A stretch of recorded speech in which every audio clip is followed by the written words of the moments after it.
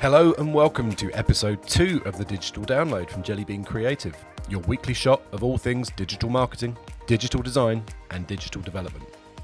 This week we're focusing on lead generation using email and live chat. Story 1 At Jellybean, we find that one of the most underused aspects of digital marketing is automation. Most businesses will engage to a greater or lesser extent with e marketing, but so far, very few have applied the same sales funnel methodology they apply offline to email marketing. Marketing automation allows you to create a set of rules based on interactions within your emails and deploy extremely intelligent e marketing campaigns without lifting so much as a finger. Story 2 I know, I know. You hoped you'd never have to hear of GDPR again after May of last year. I get it. But it appears that a great many businesses still have a way to go to get their email sign-ups compliant. The fact is, to be properly compliant, you need to employ a double opt-in to ensure people aren't being unwittingly signed up, and to ensure that there is a proper digital paper trail of consent. Most e-marketing tools will provide this facility, so get it enabled today. Story 3 Live chat is everywhere these days.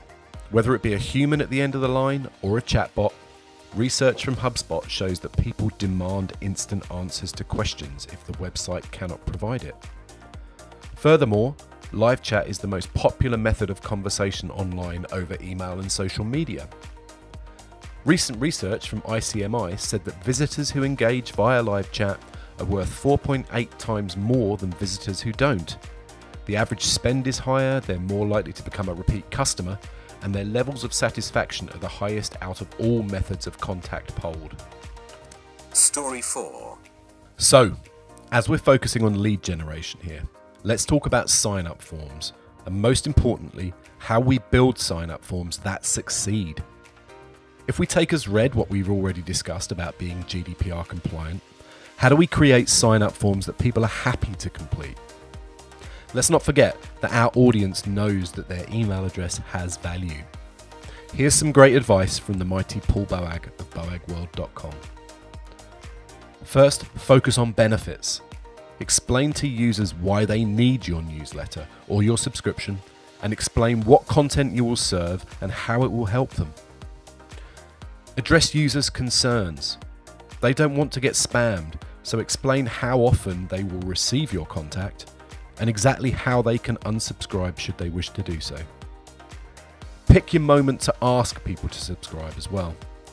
You probably hate it if a salesman pounced on you the minute you walk into a shop, so why plaster your homepage with sign up overlays the moment it loads?